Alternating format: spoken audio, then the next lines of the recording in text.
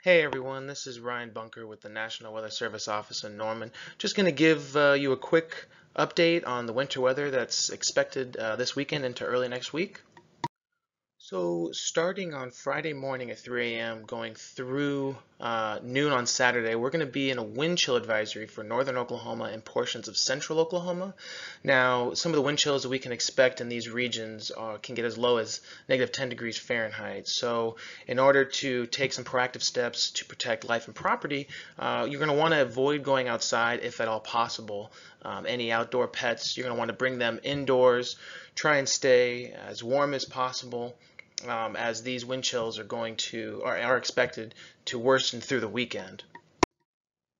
Speaking of which, uh, these are just some of the wind chill values that uh, can be expected um, into the weekend and as early as, as next week. So the image on the right actually indicates the wind chill value for early Monday morning. As you can see across the area, we could be getting wind chills um, into the negative teens uh, down in uh, south central Oklahoma and, and upwards of negative 27 degrees Fahrenheit up in northwest Oklahoma.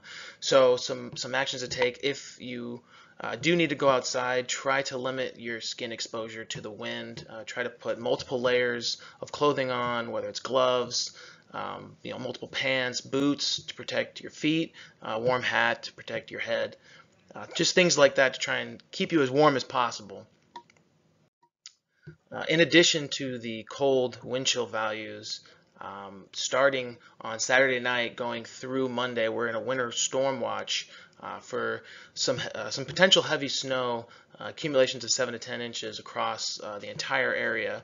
So um, with this heavy snow, travel could be difficult. So if if at all possible, stay home um, to limit limit travel. Um, give yourself extra time um, to reach your destination and, and space between cars. Uh, make sure if you do travel, keep an extra flashlight in your car, some food and water uh, in case of an emergency.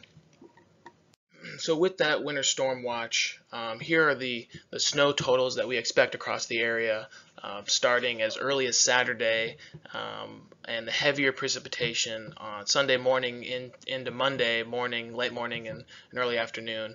Um, portions of northern Oklahoma and north central Oklahoma could get anywhere from 8 to 12 inches. Um, portions of southern Oklahoma and, and northwest Texas uh, could get anywhere from six to eight inches, and then um, further south towards the Red River area, anywhere from four to six inches.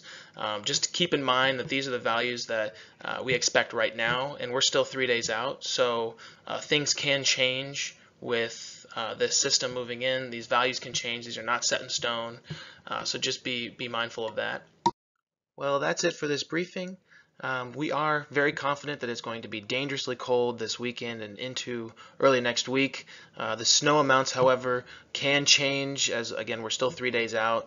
So make sure to visit us uh, on the web at weather.gov forward slash Norman and our, on Twitter and Facebook uh, for updated forecasts on the snow potential on Saturday night uh, into Monday as we get closer to that time.